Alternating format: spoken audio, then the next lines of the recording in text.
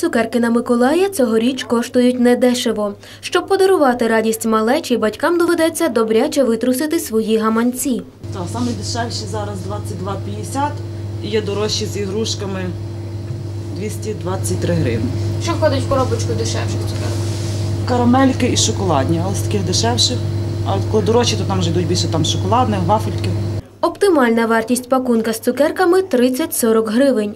Та можна сформувати такий і власноруч. Картонна коробка коштує близько 5 гривень. Целофановий пакетик – гривню 50. Якщо людина захоче, я можу там і на десятку його покласти. Карамельки, там пару шоколадних.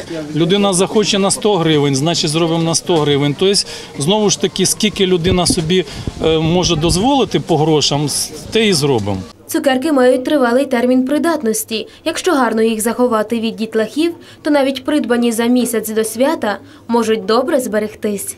Люди, які, е, скажімо так, вже мають більше досвіду, е, е, мають і, звісно, мають зараз під рукою можливості це купити, бо ж самі розумієте, і комун... не тільки продукти харчування дорожчають, і комуналка, і все, все, все, все. Е, Вони стараються навіть е, деколи закупити до тих самих свят і до того самого Миколая за два, за три тижні, може навіть дехто за місяць. Чому?